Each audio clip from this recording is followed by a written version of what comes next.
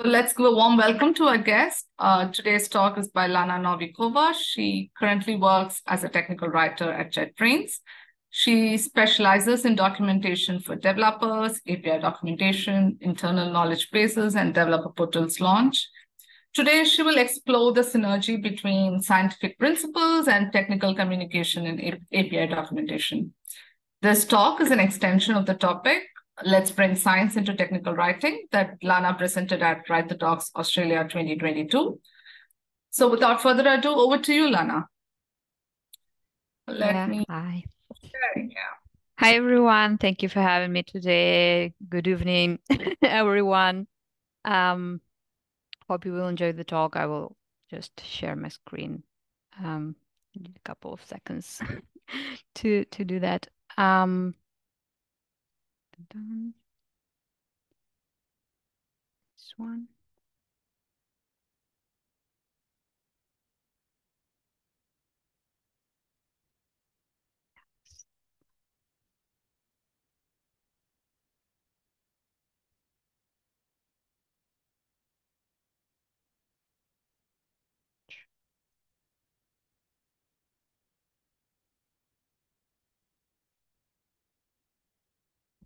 Yeah, I hope you see and hear me well, uh, everyone. Um, today we will dive in into a bit, just a bit of science, no serious stuff.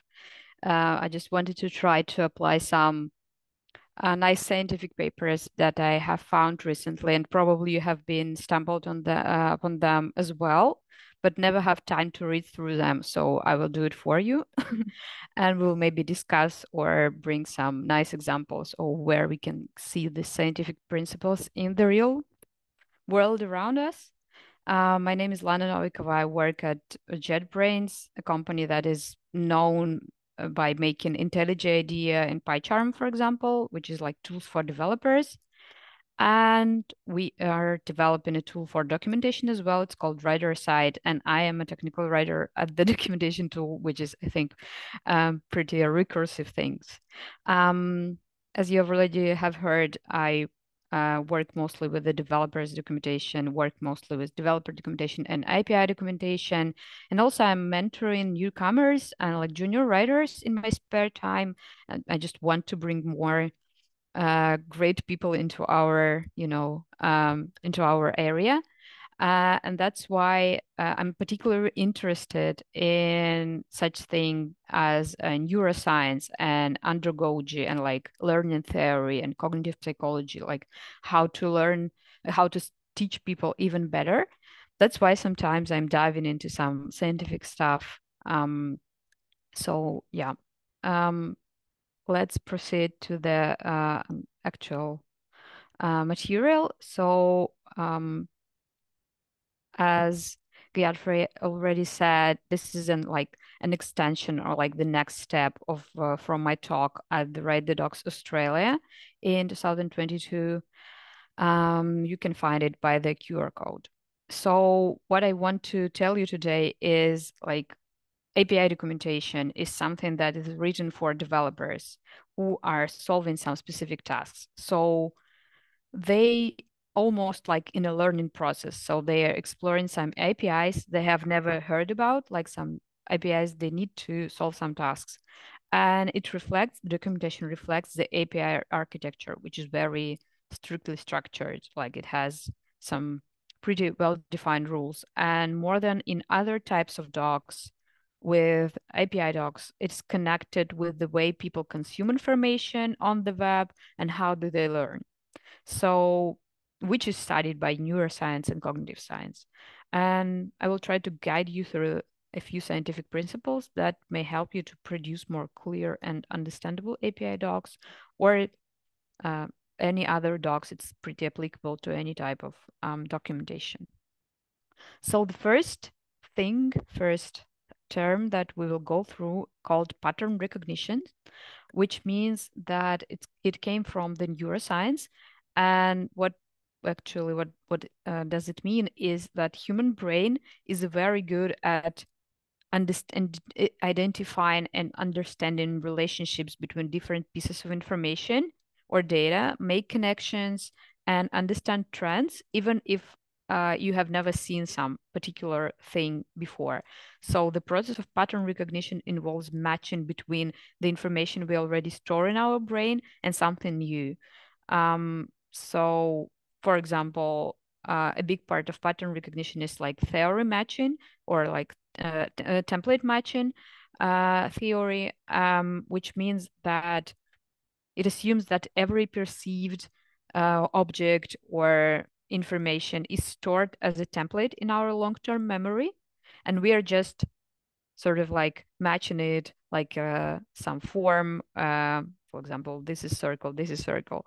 And the same thing, is actually um, like the, some examples from the real world. Um, if, uh, one example is how kids or like people in general learn alphabet. So uh, even if you they don't understand what like any sense behind the letter, particular letter, uh, they're still like relating on the form, and we can recognize like later we can recognize the same letter in like handwriting and in printed uh like as a printed element. So we are like collecting it into this information in different boxes. Uh, one more example of the pattern recognition uh, is uh, is um, when we recognize faces. So humans are exceptionally skilled skilled at recognizing faces, other human faces, because like we uh, we can easily be uh, see faces in the on the photographs or in the crowd, and we know how like face is usually what elements it is collected from, and we are can identify different faces of like our familiar people, for example, which is not that easy for like for example other types of um, uh, biological creatures. Uh, this is called pattern recognition, and these are like some real world examples of it. Um, so if we're talking about API documentation, I have found very interesting article called Patterns of Knowledge in API Reference Documentation by uh, researchers Maalej uh, and Robilardo. Um, so what they have done, they approach API reference documentation of two uh, big APIs. Uh, this is like a description of classes and interfaces of the JDK 6 and .NET 4.0. And they have used content analysis to understand, discover how like how different types of knowledge are distributed through this API documentation. Like they wanted to observe what something that they have called knowledge patterns. Actually, it was not only content analysis. I will just show you how many methods they have been using, like a lot of things like different metrics, coefficients, like uh, different samplings, a length analysis, correlation analysis, but I don't want to dig into this deeper. Let's just put it that it was a content analysis. So they will go through the whole um, amount of the reference and analyzing what like language constructions they have and which knowledge type of knowledge it belongs to. Um, so yeah, um, they wanted to, how I already said, to discover how different knowledge types are distributed through the API documentation. Um, and they come up with um, 12 knowledge types found in uh, API documentation, but for these two products. Um, and what they also wanted, they investigated this question also how this knowledge type distributed from different perspectives, like, like relative to the different subtypes. Like for example, for classes is this distribution, for interfaces this distribution, and how like uh, the proportion of how long this these types are in different references. So these are all the knowledge type they have found. Um, I will not be going through them one by one, but you can see like they're pretty um, clear. Like for example, directives is when we are telling user what to do, like do this, don't do that. Uh, so it, this is some clear um, directions in, in, in terms of like this how how it's done. Uh, purpose and rationale is something that explaining why we are doing some certain things or why is something designed this way. Um, like for example, um, patterns is description of how to accomplish specific outcomes with the API, which is like some instructional text. Code examples is basically um, an example, samples of code and how to use and combine elements. References are external links to some other documents. So there are 12 types of knowledge. You can probably find it in like any document or like in relatively any document. And the most interesting thing is that they have defined a special type of knowledge, um, which is called non-informational. This is something that contains like that have no like actual sense. So uninformative boilerplate text or repetition of the uh, interfaces or classes names. So this is something that is have that you can easily remove from the documentation and nothing will actually break or like um, happen. Um, so what they also found is that this distribution of the knowledge types in JDK documentation and .NET documentation is a bit different. Um, so on this uh, graph, you can see the comparison of the proportions and from this information, you can see that um, functionality knowledge is the most pervasive uh, and structure is also common. Uh, so which you can see like, um, yeah, uh, here uh, in the middle of this uh, of the graph. And while other types like concepts and purpose and other ones, they're much rarer and you can see the difference between uh, in how knowledge types actually are distributed in JDK and .NET. So you may see like JDK contains more conceptual information, not like drastically more, but still more. Whereas .NET, for example, contain more structural types of knowledge like structure and patterns. Um, yeah, and more examples and references as well. Um, so yeah, JDK uh, uh, contains more directives and concepts. Uh, sorry, I had this one to mark the uh, important one here. Yeah, so concepts and purposes and also directives. And the .NET contains more structure patterns and especially it's visible in the examples. Um, so what we should do with this information. Like this is an interesting uh, research, uh, but how we can apply it to the real life. Um, as you may have seen, this you can. I think this is quite um, frequently used types of knowledge, and how they are like uh, are distributed between the throughout the documentation is also quite uh, recognizable. So you have some um, decent amount of the functionality descriptions usually. Uh, also, you have uh, some samples, you have some directions, like what you, you need to do that, you need to do that. And uh, this is actually an interesting thing you can perform with your own documentation.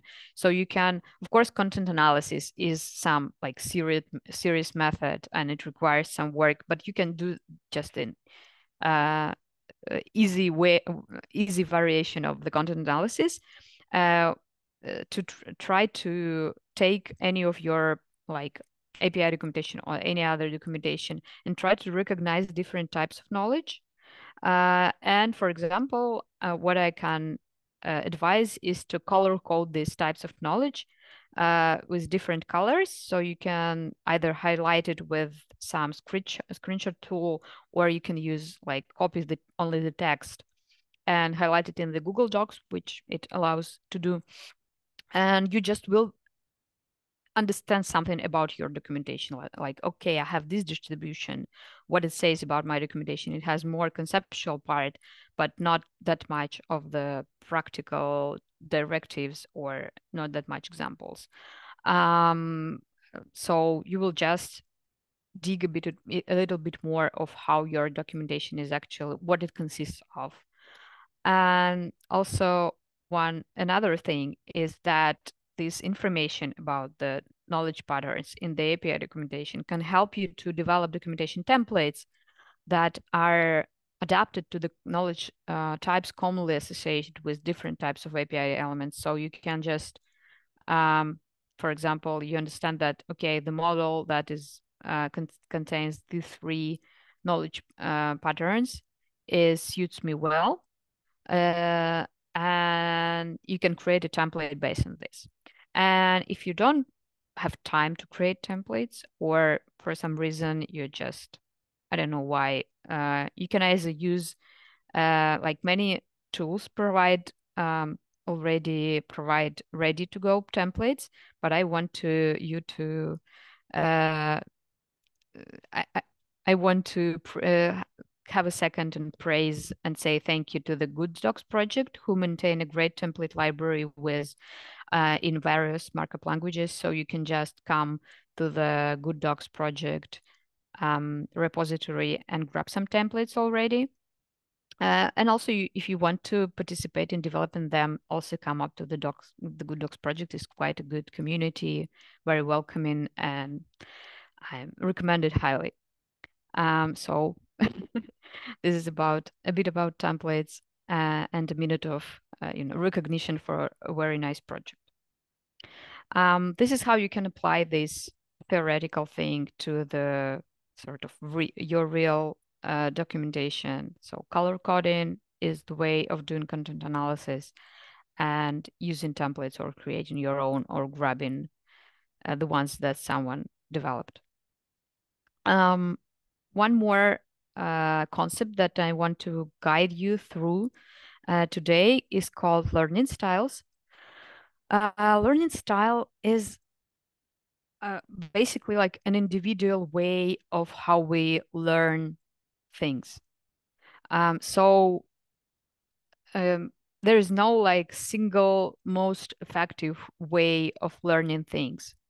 Um, it varies from person to person. It depends on the task you're accomplishing and depends on the information uh, you're like uh, you're trying to learn. And once you know the different approaches to learning, you can consider um, what is most beneficial either to you or to your uh, user, which is actually reader is somewhat someone who is soaking up the uh, knowledge and you as a technical writer or someone who is writing the content you're actually a teacher so you're guiding them through uh, you want them to learn how to use your product. And that's why this learning style theory is quite applicable to the technical writing because um, this is like pretty obvious that people don't consume information the same all the same way. Like when they come somewhere they're like okay i start with this then do this and do that. This is not how it works. Uh, so in educational theory and learning theory uh, there are a lot of attempts to make a decent one correct um, learning styles uh, classification, but it's actually hard.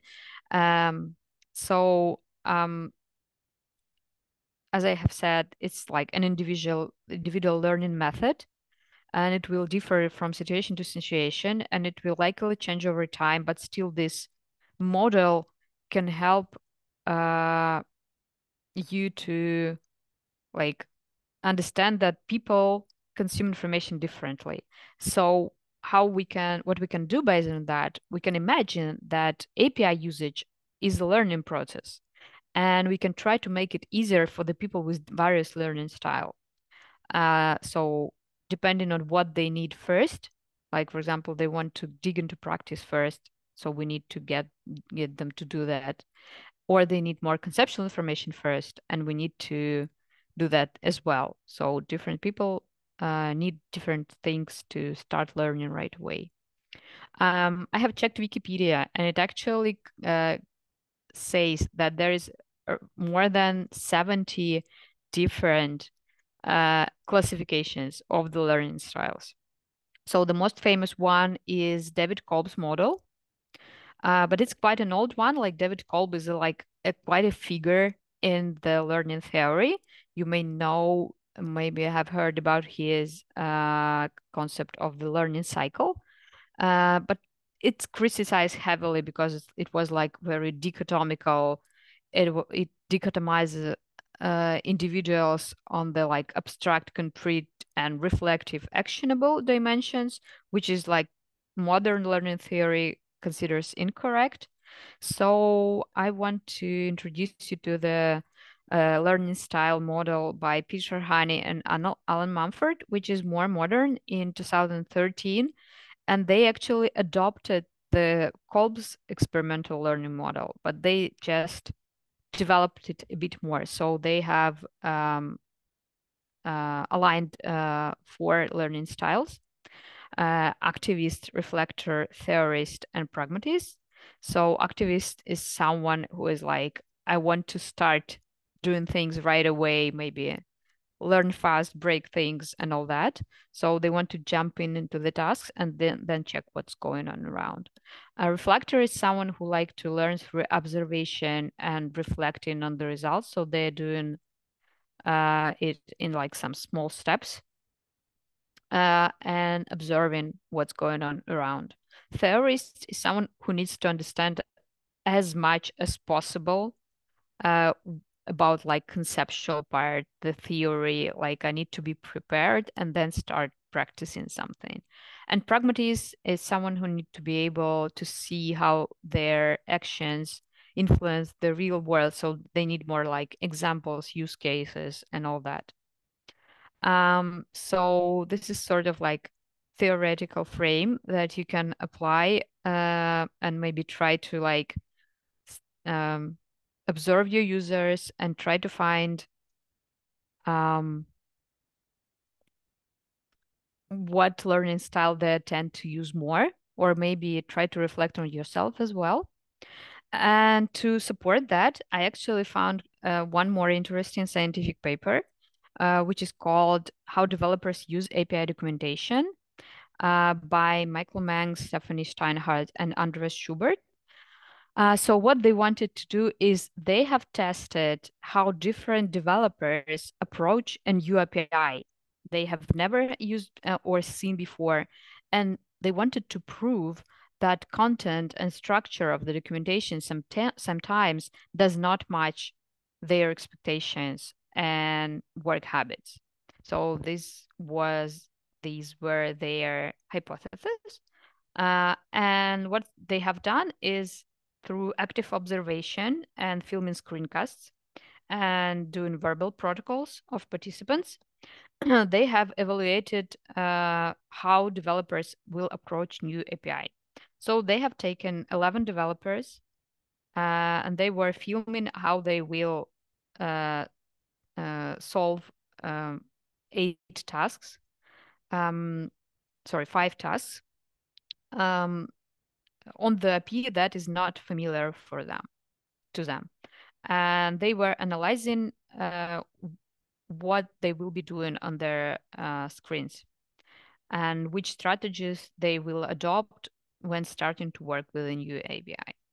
So uh, in the top, uh, they have uh, defined some content categories um, and these content categories were like because this they specifically selected this uh, API, which is called ShipCloud. Uh, this is a sort of a library for uh, e-commerce projects. Uh, and these uh, content categories, they have specifically named the sections on the developer portals this way. So welcome page, concepts, integrations, samples, recipes, and reference, uh, just to make it more like easier to follow the patterns, how what developers will do when they will land on the page like uh, which you see uh, in the bottom of the slide. Um, yeah. So what they have uh, actually observed. Um, first of all, of the 11 developers participated in the study, Eight of them have solved all five tasks in 70 minutes. Uh, the other three solved only from one to three tasks. So the success rate wasn't quite uh, consistent. Um, and the overall mean time was uh, uh 695 seconds.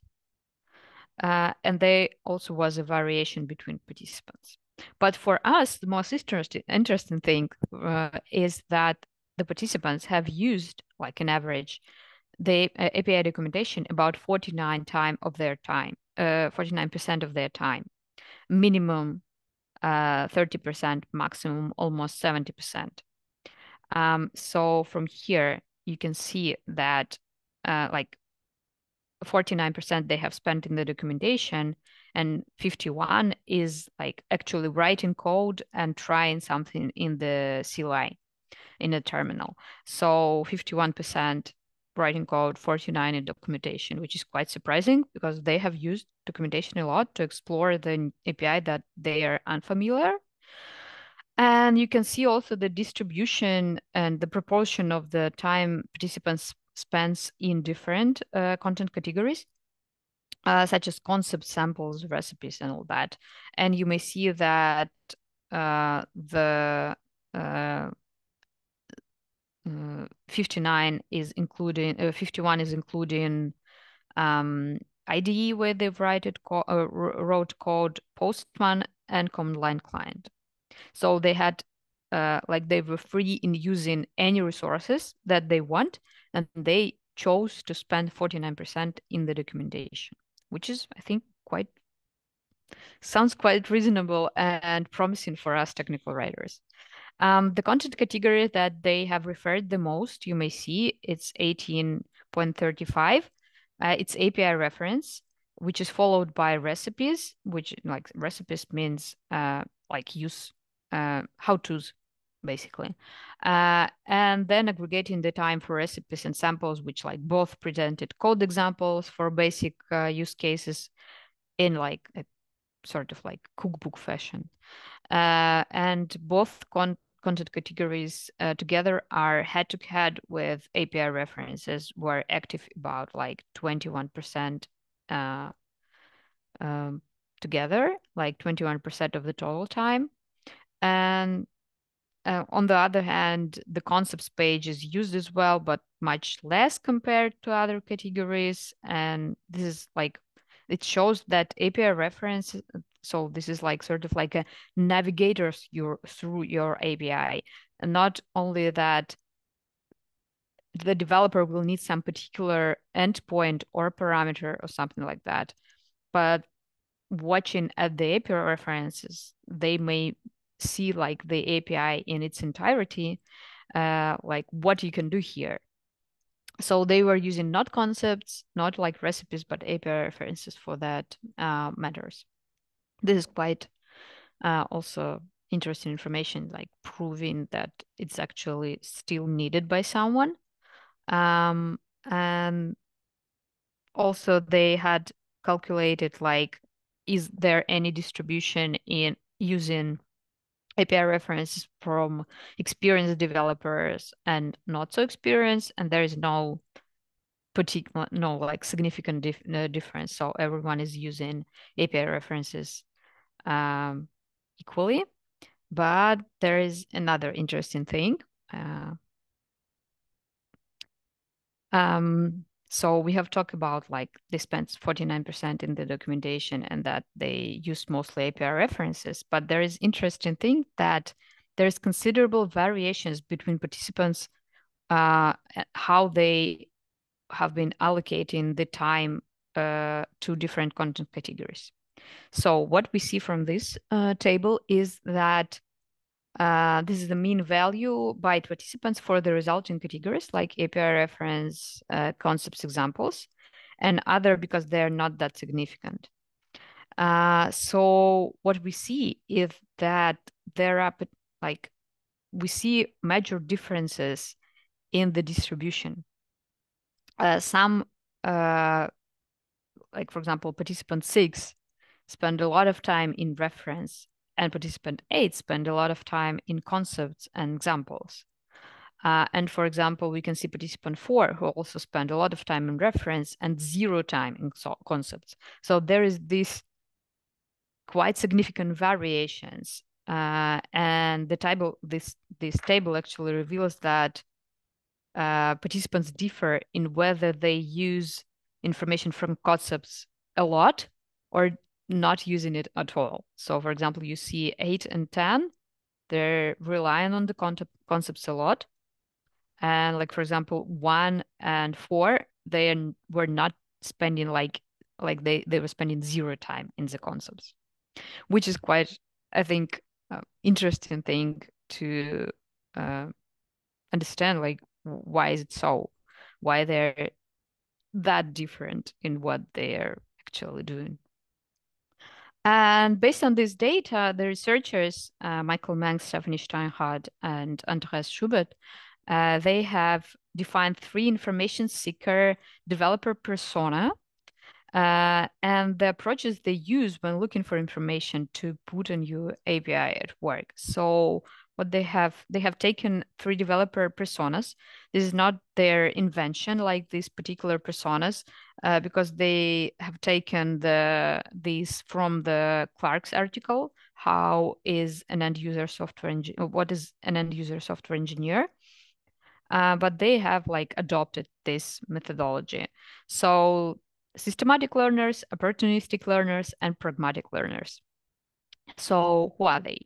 Systematic learners are someone who seek to understand the API before they use it. So on the table here, this is clearly the ones who were using concept information uh, the most, like P uh, participant 8, for example, is a systematic learner. So they want to, uh, they started every task with a, uh, clean piece of code. So they have taken the code from the example sample. Then they were digging into into uh, concepts to understand what uh, like what they were uh, what the actual concept they're managing. And they were also using the recipes to extend this um, uh, example a bit more. So they wanted to like be very prepared and like understand more details rather than just start learning code right start writing code right away um so yeah uh, the opportunistic learners they were seeking to get started as quickly as possible without like first understanding of the api or checking the documentation so they worked in more like intuitive manner and like risking making errors. So I want to just like try, double check what uh, what errors uh, do, uh, I have, uh, and whether my like solutions were correct. Um, so they were uh, just writing some uh, code example right away, then a piece of code right away, then modifying it, extending it, may and they were not taking any time to get a general overview of the API before starting the first task. And the third uh, is actually a combination of both. So they are not that brave to just start writing code right away, uh, but they are actually not digging that deep uh, than, like, for example, systematic learner. Um, so there's something in between, not that risky, but still like they uh, were reading some uh, information and at least digging into the API reference. Um, so you may notice that these learning styles, like these developer personas, are corresponding well to the Honey Mumford classification that we have discussed previously. Like activists is very similar to the opportunists, so they want to start as much uh, as fast as possible. And theorists is somewhat reminding us about systematic learner. So it seems like this learning uh, styles theory and these developer personas defined by the researchers is quite similar in some ways.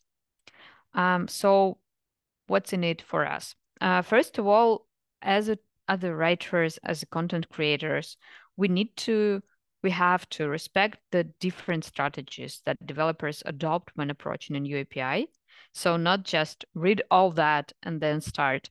We need to try to manage the way they're getting the information so we can uh, give them this information redundantly, like all information should be there, but all the additional information should be somewhere a few clicks around.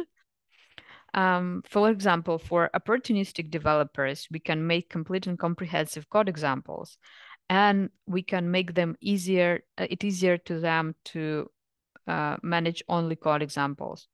For example, I have found a few examples from the real world APIs that I found quite reflecting that idea of different learning styles. Um, this is an example from Twilio docs. And what you can do there is that you can make the code example visible like the on the like, as a full uh, full page. So you, you can hide the API, the reference part, the detailed description of each parameter. And if as a developer you want to work only with the example, you're free to do this. And then you can uh, get back to the previous mode. This is quite, I think, uh, you know, adaptive for the different types of learners. If you need reference information, you have it, but if you don't need, you can watch, uh, you can work only in the scope of the code example, which is like nice and thought, well thought. Uh, another example is how you can connect the actual referential part and the conceptual information with the code. So they have this text to code synchronization. So when you click on some particular part in the request or response sample, you can see which part in the reference it corresponds to. Um, this is an example from Spotify API docs. And what you can do more much simpler, like if you don't have a lot of, you know, like a front-end developer who will do that for you, uh, you can just try to highlight parts uh, using some less advanced uh, tools, like for example, highlighting in the code uh, corresponding to some particular um, like node, for example. So you can just use simpler tools you have uh, at your hands, in your hands, and not only like this cool synchronization, but this is just also a good example of how uh, you can respect different type ways of what is important to the developer who are consuming your API. Um, for systematic learners, you can provide important information redundantly and give some relevant background knowledge. So if they want first to like understand what this API is about, like domain related background knowledge, you can also do that, like include some information about, for example, I know, this is transactions, what they do uh, into the reference. And I can show you an example from Stripe API. Uh, they are quite famous for having nice documentation. And if you like, you know, have this top 10 well looking docs, you usually, you, you probably will see Stripe in there. And what they're doing is that they have this, uh, the structure of the API uh, reference is reflecting the domain knowledge. So they're not like structuring using endpoints, like this endpoint, this endpoint, this endpoint, but they have like the concept, like for example, balance, balance transaction, charge, customers. And first they put all the information about this object, like what is balance transaction? What is it all about? What these these are related guides. You can read more. And then you have information about the endpoints that are related to this particular object, which is quite like interesting navigation solution. And for all others, you can enable fast access, fast access to the API, implement tryouts, action-oriented documentation. Uh, so from the research, you can see that regardless to the learning style, developers still want to start uh, start using this API successfully uh, and fast. Like systematic learners, and not does not mean that they want to learn slow they just want to know more, but they still want to start fast. And this is a nice example from the Dropbox. They have not only like just this try out block, because try out block is something that is quite, I don't know, maybe I think it's uh, already a normal basic thing in the API references, but these are is uh, um, API playground. So you can play out with the API without like starting writing code right away. So you can request the access token and play in this sandbox and like try to send some uh, requests and see what's going on. And this is in, in, an example from Render. This is actually also a good uh, example because they have like the first point in navigation, the one you land when you're uh, searching for the API, called Quick Starts. And this like tiles for each of the code language uh, for the programming languages and frameworks. Uh, you can click on them and they're actually like literally one to three steps to start. So this is quite cool that you can start right away and try something uh, very quickly, where it's a simple example. And another one is also from Twilio, which is quite interesting. They have this reference that we have seen before uh, on another example, but they also have on the main page, like welcome page of the API, like developer portal, they have very simple examples. So if you don't want to read documentation, because it says like read docs and it has links to docs, but if you don't want, we have an example of how to create a WhatsApp message using our API just from here. Like you don't, if you don't have time to proceed to the extended documentation, which is quite interesting approach, like placing the example on the welcome page, like the uh, landing page of the documentation portal. So what I wanted to say with my talk is that it's actually you don't need to repeat this like you know uh, sophisticated uh, with a lot of respondents uh, research done by these um, uh, uh by, by, these groups of researchers. Uh, but you can like make uh, can take some long hanging like low hanging fruits so you can do the same but a bit easily. So for example do content analysis with that just simple color coding and without like taking just all the documentation but some a few documents to see what's going on in your documentation. Or you can ask some two or three fellow developers like please try to start using my api i want to see is like how my documentation is working what you will start with where you will go next. So you can just approach some simple researches uh, and call yourself something of a scientist, which is like not that hard. Um, here on this slide, I provide links to the mentioned uh, researches. If you will want to dig deeper uh, into them, there are a lot more in there. This is not all that I have told you. And let's stay in touch. Uh, these are my, my contacts. Um, I'm always ready to answer your questions to talk about API and developers docs. Thank you for your attentions. Uh, thank, thank you, Lana. That was a very uh, interesting session. Uh, let's take up a few questions from the chat. Um, we have a question from Nikila. How will non-informative knowledge type use uh, help users consume the API? Oh, that that's actually a very uh, interesting question because um, uh, the this is fun because it's it doesn't help. This is something that they have discovered that there is pr pretty decent proportion of the non-informative things in the documentation but this was not their documentation so they are just researchers like silent observers. They can't like influence the experiment so they have taken the this uh, reference information in its entirety.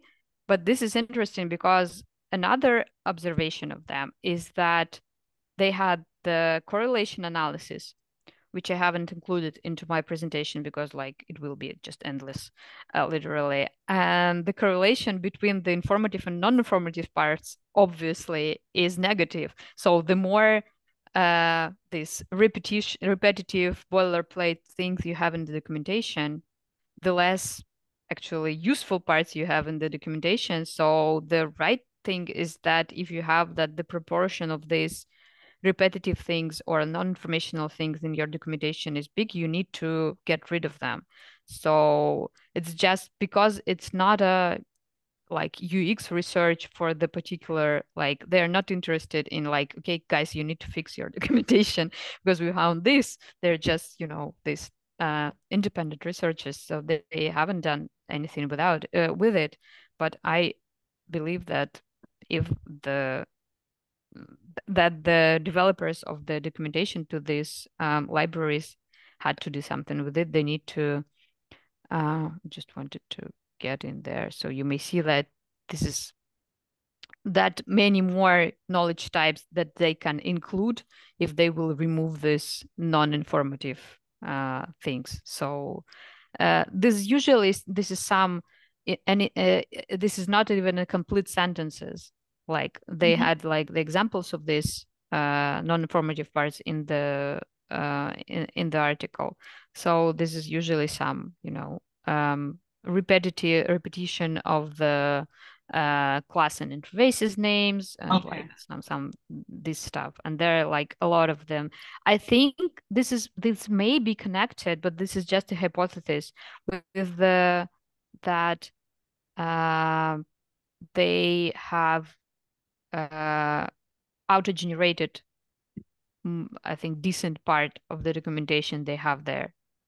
So this this may be uh, the reason why there is that much of the text because like if you use for example javadoc it has some it generated to some particular structure and this this may be just a, a consequence of the auto generation so we just need to fix it like after you generated it to do something with it manually we have another question. How do you apply the learning styles when writing a documentation for a user base? Are there any patterns that can be implemented to know the user's learning style? Oh, that's a hard one. Um, um, actually, this is something that I started just recently. Um, mm-hmm. We added, uh, we tried to add the learning styles into our user personas. So mm-hmm. usually you have like not much dimensions into that. So you, for example, you have an um, uh, like for example junior developer who are just starting like for example here in uh, so you are describing them as a uh, for example they are interns or junior developers and you have like middle developer who is like knowing uh, there's th- thing but still they uh, can uh, access your documentation.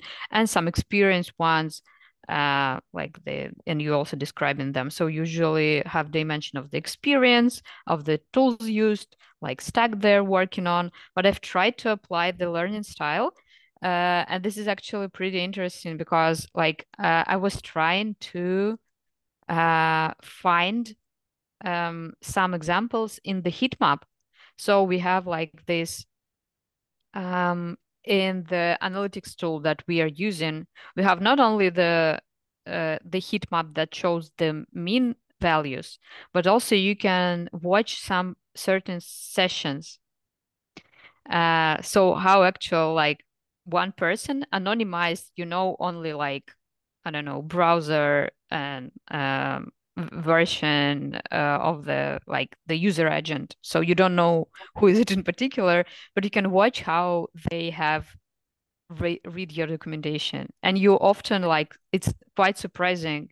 Uh, and this is like if you have something like that this is a good way to uh, find some learning styles. Because you you clearly see uh, something very similar to what these uh, researchers have seen, someone are jumping right to the uh, examples. They're copying them because you see that they click the copy button. Then they uh, read some information around and drop out. Uh, so what they like to uh, to adopt it to the learning style of that such users, you need to make sure that your examples are uh, actually usable because often we place uh, in the documentation this is an example but it's like a part of some actually valid code. So you need to go through the whole flow to get the all the like details. So we're now we are thinking so there is no like like silver, silver bullet. We are still also like just started to uh, approach this learning style thing uh, after i have uh, read about this article, read this article, but uh, first of all, we come up with the idea that we probably need, like you have this uh, part of the code that just shows some one particular action, so like boilerplate for the function, but there is an ability to like to click some extend and you will see the full example with the like the whole file probably. Okay. and then like get it back. So we have like get a bit more context and then hide the context. Um so yeah and for such developers who want just to like jump into it right away they also may uh, may enjoy some things like uh, runnable code samples which we are also implementing right now uh, so you can run something right in the documentation and check how it works without like uh, copying it into the IDE and then getting back to the documentation because there is a high chance they will never get back. They will also try to break everything in the IDE and like do it themselves. And for the like, there is another a pattern when they're like try to read uh, the like documentation a bit like a book, like from top to bottom. And they usually these users, particularly, they leave a feedback very uh, frequently. So they use search. Uh, they don't uh, have not found something particularly. They have uh, usually they visit a few pages uh, in in the same visit. So you see that they they are very you know involved into getting some particular information. So they are using all the abilities. They're reading from top to bottom, then they're using search, and they are leaving some negative feedback, like I haven't found some particular thing. And this is, I think, close to the systematic learners. So they're trying to embrace all the information uh, and all that. So yeah, for them, you need to uh, give more like background knowledge. So but not that much because otherwise you always like balancing between these two or like three uh, types.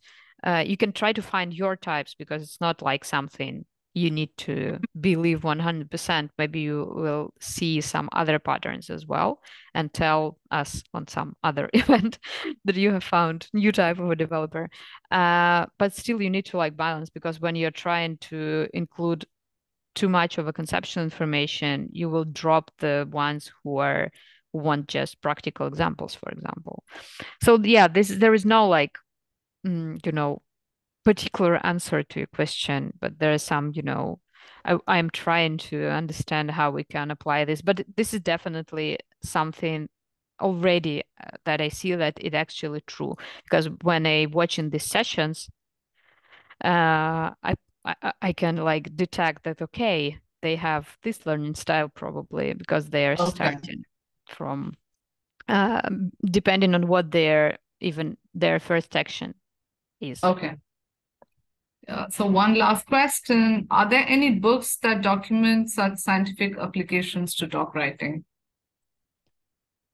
Oh that's a nice one. I don't um I don't think I know any, but um, it's not like about uh, applications to doc writing in particular, but I think many books that are covering um, learning theory and like instructional design, they are quite applicable to the doc writing. So there's no yes. like books called uh, scientific principles of the documentation, but uh, I think we are pretty, we can rely on what already done about information architecture. Uh, so these are like, for example, if you will see the UX writing, they're also relying on the like behavioral theory a lot, the learning theory a lot. So we are allies here with the, like, for example, UX designers and UX researchers and the ones who are working for UX. So you can just uh, watch a bit, uh, like, uh, watch a little bit you know wider and check the books about instructional design information architecture behavioral theory learning theory. Because like actually uh, teaching adult people is something that what we info we are just teaching them using the textual information visual information but there is not that much difference be between like tutorial that we are writing and some lesson that um, someone is teaching in the class.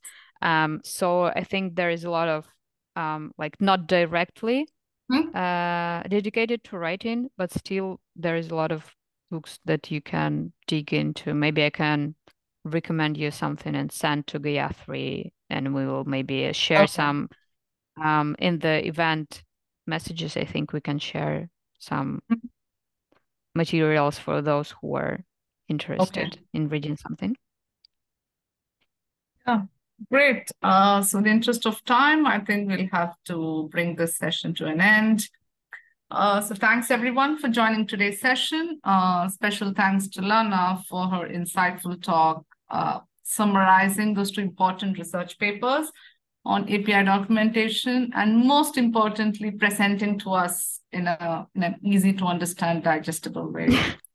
Uh, yeah, and my biggest takeaway from today's talk is learning how important it is to tailor your API docs to meet the le different learning styles of the developers. Uh, so, uh, participants, so I hope uh, Lana's talk